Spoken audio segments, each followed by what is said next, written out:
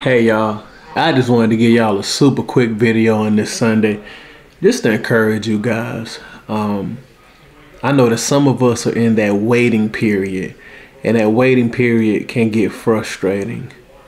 And um, you know, this message is for people of God or people that are just striving to be better. Don't give up in that waiting period. You know, I think a lot of times people throw the towel in right when they're on when they're at the cusp of greatness or right when it's about to be their season and then they give up a little too quickly.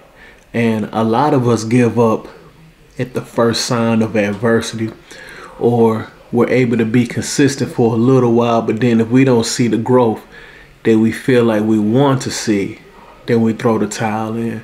Y'all, I want to encourage you that if you continuously hit a tree in the same spot every day with your axe.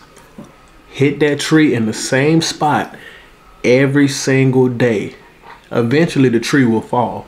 Now, I'm not saying that you might not have to change out the head of the axe sometime. You might you might break the blade and you might have to get a new one.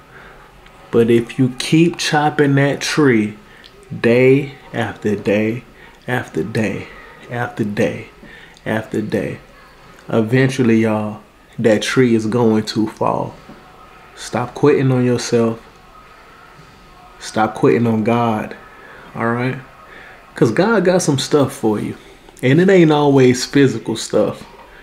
Y'all hear me? But in order for you to get it, you gotta you gotta stop quitting. The Bible says seek and keep on seeking. It says knock and keep on knocking. So you gotta you gotta keep hey, I know I know it's a little hard right now.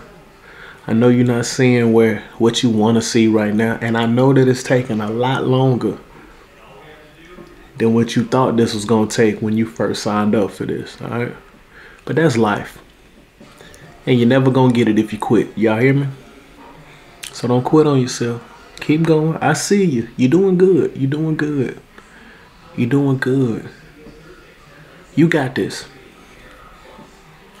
You got this. And I'm touching and agreeing with you. Look at me. You got this, okay? Keep going. Celebrate those small victories. You're doing a good job, okay? I'll see y'all soon.